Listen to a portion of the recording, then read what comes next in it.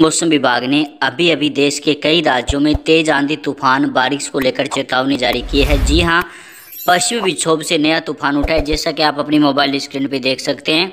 देश के कई राज्यों में भयंकर आंधी तूफ़ान आना शुरू हो चुका है। भारतीय मौसम विभाग के मुताबिक, अगले 24 घंटों के दौरान राजस्थान, पंजाब, हरियाणा, दिल्ली, उत्तर प्रदेश, बिहार, झारखंड समेत देश के कई राज्यों में तेज आंधी तूफ़ान आने वाला है।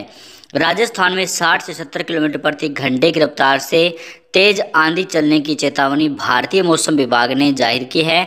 हनुमानगढ़ श्री गंगानगर चूरू, बीकानेर, जैसलमेर, बाड़मेर समेत कई जिलों में भारी आंधी और तूफ़ान आने का आसार है। वहीं पश्चिम विक्षोभ की वजह से मौसम में बदलाव आया है। भारतीय मौसम विभाग के मुताबिक देश के कई राज्यों में तेज आंधी तूफ़ान आएगा। उत्तर प्रदेश, बिहार, झारखंड में 40 से 50 किलोमीटर प्रति घंटे की रफ्तार से तेज आंधी आने की चेतावनी मौसम विभाग ने ज़ाहिर की है।